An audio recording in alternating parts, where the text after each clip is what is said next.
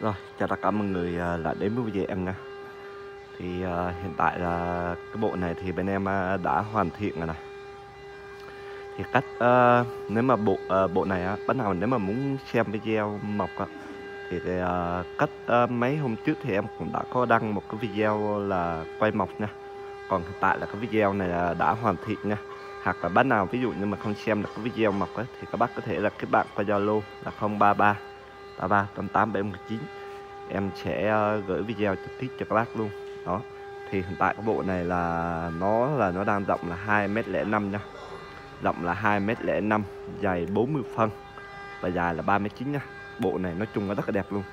Bộ này hiện tại là nó đã được ờ, nói chung là mấy năm rồi nha.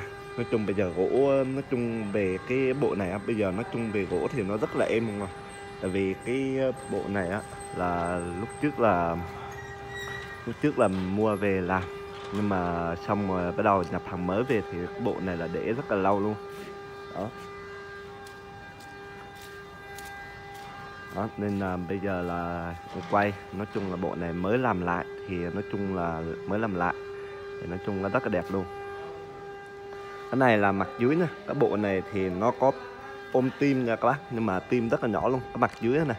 Tại vì à, mặt dưới nó sát sát mặt dưới nhưng mà mặt dưới nó cũng rất là liền nha. Nó liền gần như mặt trên luôn.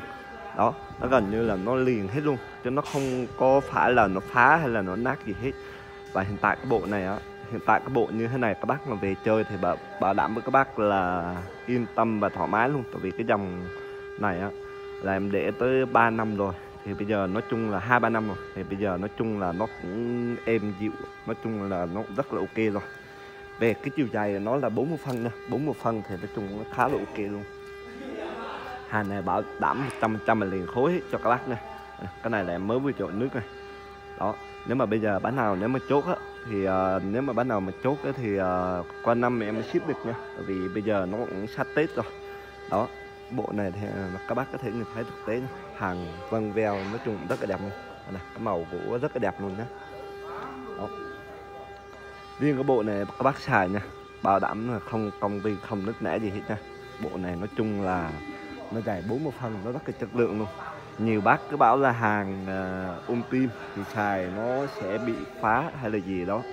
Nhưng mà nếu mà như em làm lâu năm nếu mà bây giờ một tấm 20 phân hàng bìa với lại một tấm mà nó ôm tim mà nó dày như thế này thì em sẽ chọn cái tấm này để em sử dụng. Không được đó thì nói chung 20 phân mà hàm bìa thì nói chung nó quá là ok luôn rồi nhưng mà còn mà để mà dài 40 phân á, ôm tim á, nó chất lượng hơn nha các bác. Đó nó không phải là nó uh, um, em nói là để em bán được hàng đâu.